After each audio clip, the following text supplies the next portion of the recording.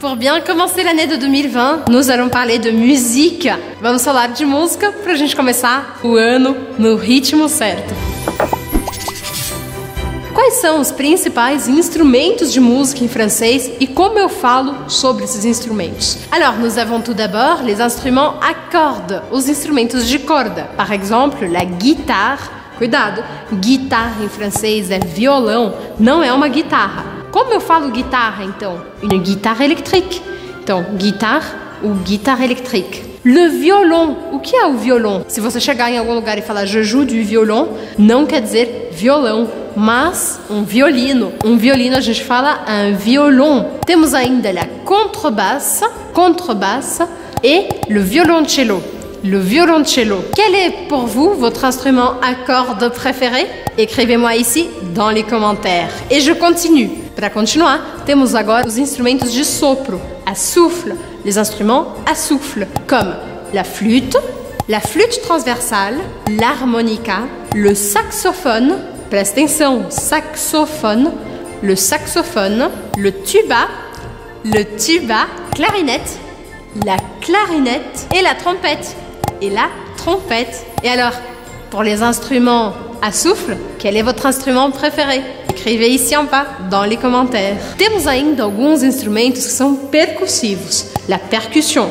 A gente pode dizer une batterie, un tambour, xilofone, xilofone e dois instrumentos que eu não coloquei nas listas anteriores, mas que são fundamentais também. L'harpe, harpe e le piano. Le piano.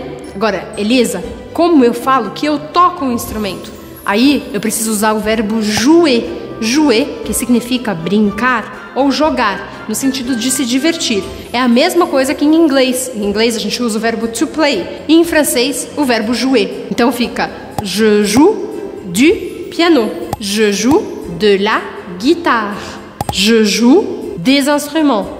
Então, se você usar o verbo jouer, conjugado em qualquer pessoa e em qualquer tempo verbal, e usar a preposição de la ou du ou de, é só você completar com o instrumento que você quiser. Vamos ver então, só pra gente terminar, como a gente conjuga no presente o verbo jouer. O verbo jouer é um verbo bem simples, porque ele é do primeiro grupo, ou seja, ele termina com ER. Então você vai simplesmente substituir o ER pelas terminaisons pelos finais correspondentes. E, ES, E, ONS, EZ, ENT. Vamos ver? Je joue du piano. Tu joues de la guitare. Il joue de la percussion. Elle joue de l'harmonica. Nous jouons des instruments.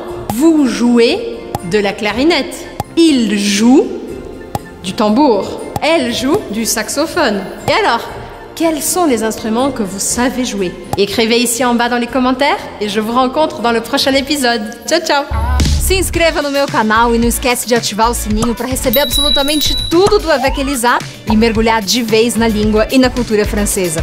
C'est parti Allez, venez